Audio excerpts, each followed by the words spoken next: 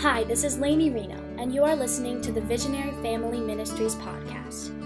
You are about to listen to part two of Healing Family Relationships with my dad, Dr. Rob Rienow. We hope this message is an encouragement to you and that you share it with your friends. You can learn more about our ministry at visionaryfam.com. Let me talk to you about another principle for healing family relationships, and this is healing through boundaries healing through boundaries. This is a, a, a, very deep and complicated subject, and I'm only doing 10 minutes on it today. But Romans 12 18 says this God says, if possible, so far as it depends on you, live peaceably with all. What does if possible mean? It's not a trick question. What does if possible mean? If it's possible. Translation, it might not be possible to be at peace with a family member because of decisions that they're making, because of attitudes that they have. But you notice the emphasis here, if possible, so far as it depends on you. In other words, if the relationship's broken, if the relationship's not healing, don't let that be your fault. This means that God wants us to be ready and willing to seek reconciliation. Now, listen, being a, being a person of peace, being eager for reconciliation, being eager for healing, it does not mean being a doormat. It does not mean looking the other way when there is, is sin. Sometimes it means, and this is what we're talking about now, sometimes it means setting boundaries around a situation with a toxic person. People get so confused about what forgiveness is and what forgiveness isn't. You can forgive someone without trusting them. Forgiving someone does not mean trusting someone. So let's say that you're going through a difficult financial time and you share uh, that with your mom, and your mom posts a prayer request on her Facebook page about your financial problems. And a week later, she comes back to you and says, I wanted to share an update with my prayer group. What's going on? Okay? Now, it would be very appropriate for you to say to your mom, listen, mom, uh, you shouldn't have shared my personal stuff on Facebook under the guise of a prayer request. I forgive you. I'm not going to harbor anger and bitterness toward you, but I'm also not going to talk to you about my finances anymore. I'm not going to trust you with that information. See, I've forgiven her. I don't harbor anger, bitterness, or resentment, but I'm not going to trust her with that again. It doesn't mean allowing yourself to continue to be abused and mistreated by a person. Forgiveness also does not mean liking someone. You can forgive them and not like them.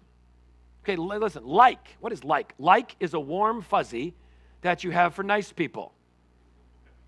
You will like nice people. You'll have warm feel, people treat you nice, you will like them. Did you know there's no commandment in the Bible that you have to like anybody? Thou shalt have warm feelings for all people. Not there because you're going to like people that are nice, and you're not going to have warm fuzzies for people who aren't nice. Now, don't get too excited about that. You have to love the people you don't like, right? So God doesn't let us off the hook quite, quite that easy. Let me give you a boundary example from Scripture. You remember Joseph with his brothers, right? They, they're jealous of him, strip him naked, throw him in the well, sell him into slavery, tell dad that an animal ate him, okay? He goes off to Egypt, spends years in prison, but God raises him up, right, to second in command in Egypt. God uses him to save uh, the people from famine. The brothers come down to Egypt. They're looking for food. They come into Joseph's presence. Joseph recognizes them immediately and says, Guys, it's Joseph. It's me. I'm your brother. I love you. I'm so glad you're here. Let's forget everything that happened. We're back together at last. Hello? Not quite, right? I, I skipped some stuff, didn't I? See, Joseph, I, listen, the Bible does not explicitly tell us this, but I do think it's a fair inference.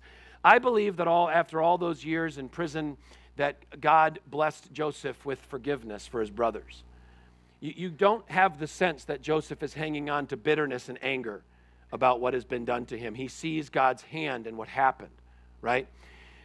But when the brothers come, I, so I believe Joseph's free of his anger and bitterness and resentment. He is not going to trust them again. He's not going to open his heart to them again. He's not going to enter into relationship with them again until he has evidence that their hearts have changed and that their behaviors changed.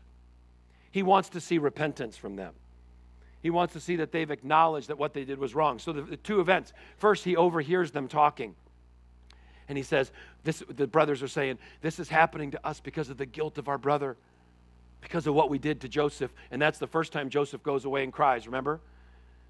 And then the second time is he tests them. Is their behavior going to change? Are they going to sell out Benjamin to save their own hides? And when they offer their own lives for Benjamin, they know that they've truly repented. And it's at that point, then he drops his boundary he is now willing to enter into relationship with them again. He's willing to draw them close to him again because they have evidenced changed behaviors.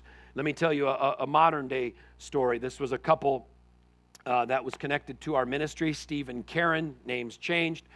Steve and Karen were um, having difficulties with Karen's parents, the, the grandparents of their children.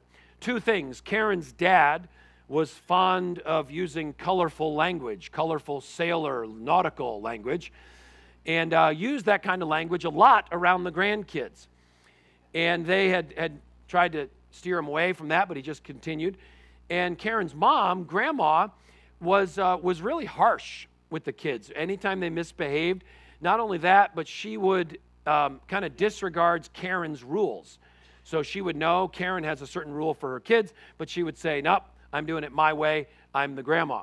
So Steve and Karen just sort of went with the flow for a little while, thinking that if they chose the path of peace and just didn't say anything, that things would get better. Well, things continued as they went along. Uh, and, and they realized that they had to, to take a risk and establish uh, a boundary. So they asked the grandparents if they could have a, a conversation, a personal conversation. And, and I, I wrote this down. This is, this is how it went. They said, Thanks for being willing to talk to us. Uh, we want to tell you we love you and appreciate you. Because we care about our relationship with you and your relationship with our kids, we need to have an important conversation. Dad, I know that you use some swear words, but those are not appropriate words to use in our house or around our children. Mom, sometimes when you're dealing with the kids, especially when they misbehave, you're harsh with them.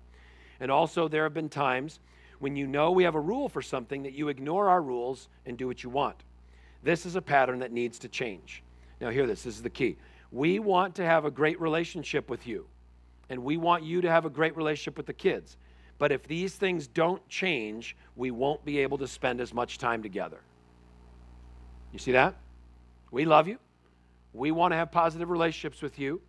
But this unhealthy pattern, this toxic pattern, this our hurtful pattern, we have to have a boundary up to keep that out of our lives. Now, the, the initial conversation did not end very well. It was a little awkward and it was a little tense. But a few weeks later, the grandparents came back and, and, and circled back. Now, listen, because the grandparents wanted to maintain a relationship with the grandkids, they did not want to be cut out of grandkid access.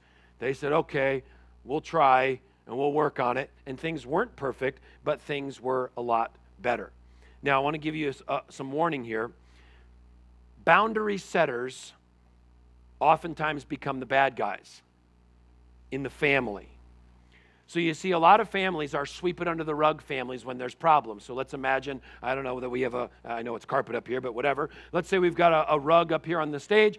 Every day, folks come in to clean and they just sweep the dust off the stage under the rug.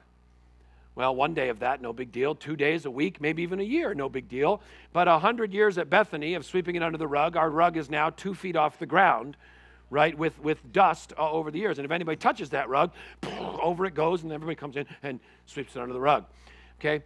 Um, the, a lot of family, sweep it under the rug family systems, anyone who says, hey, I think we have a problem under the rug here, okay, you're accused of making the room dirty all right? Or the other example, let's say your house is burning down, and you say, The house is burning down. The rest of the family says, Shut your mouth, don't talk bad about our house. Uh, I'm not trying to talk bad about the house, I'm just saying it's burning down. I think we need help. So I, I just be prepared. Okay? Be prepared that if you're in a family system that doesn't deal directly with hurt and you're going to choose to try to deal directly with it and set up some boundaries, you may be accused, listen, you may be accused of being unloving and causing problems. But in reality, you've shifted into a mode where you are now loving enough to help the family move toward healing. One more principle. Oh, my picture of Joseph, I failed to give that to you. It's a multimedia extravaganza. Okay. Third principle healing through compassion. Healing through compassion. One of my favorite scriptures about Jesus' ministry is from Matthew chapter 9, verse 36. Jesus looks out at a crowd of lost people, and the scripture says, He had compassion on them because they were harassed and helpless like sheep without a shepherd. And I wonder, as you think about your son or daughter that's hurt you, or a spouse, or a parent, or a family member, I wonder if, if you ever have Christ's compassion for them. One of the things that we want to ask God to do is God, would you give me Jesus' heart for sinful people? Would you give me Jesus' heart for messed up people? This is not excusing their behavior. This is not sweeping things under the rug. This is kind of that principle, this modern proverb you've heard before hurt people, hurt people. The people who are behaving in toxic, unhealthy ways, they're certainly responsible for what they're doing, but a portion of what they're doing comes from their own hurt and their own woundedness. This podcast has been brought to you free of charge because of the generous support of listeners like you from around the world. If you believe more families need to hear this message, please consider making a donation.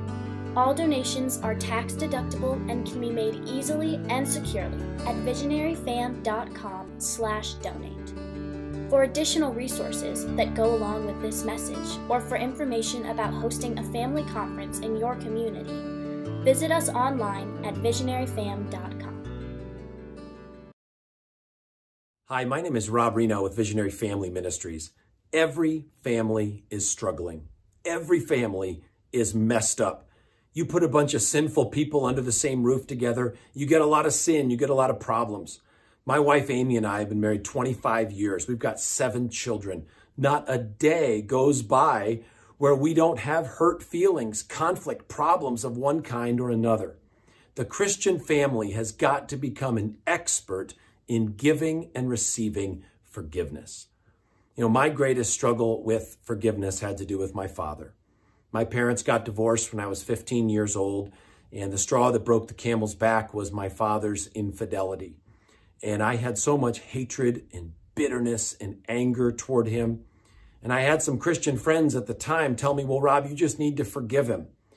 I guess that's good Christian advice, but at the time, honestly, it seemed pretty superficial, pretty pat answery, pretty Sunday schooly and, and unrealistic. I had other people tell me, well, Rob, time heals all wounds. You just need to give this time. And I sure found out that isn't true. Imagine you get a big chop on your arm and somebody says, well, give that time.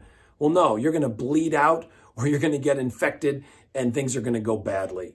Now, what I did learn is that God can heal all wounds over time.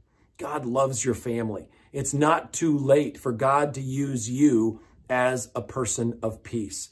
And God brought pastors into my life and he brought key scriptures into my life to teach me how forgiveness really worked. I want to put this new book, Healing Family Relationships, into your hands.